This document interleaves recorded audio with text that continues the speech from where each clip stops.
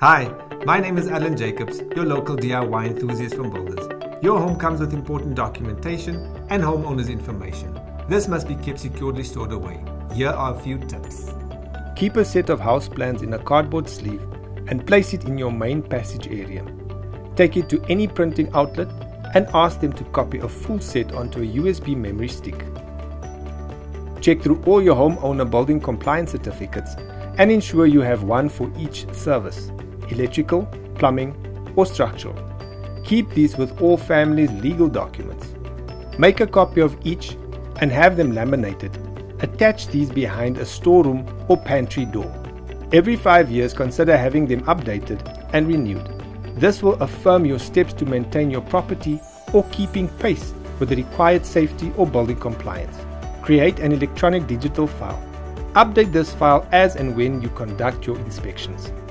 Keep it current and relevant by populating it with detailed information of every new household content item placed in your home and track the repairs and maintenance conducted on your property. Make sure you have more than one copy of all your homeowner documentation and that this information is stored in several dispersed locations. Using the cloud is both easy and safeguards against losing critical information due to fire loss or theft. Criminals target electronic goods, so keep this in mind. Remotes. Check all the remote controls provided. Record model and serial numbers. This will save you having to keep or purchase spares.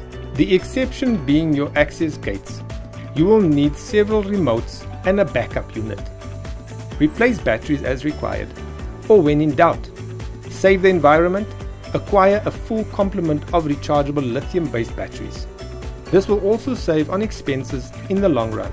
For more maintenance tips like this, click on our blog on our website. Get to Builders, get it done.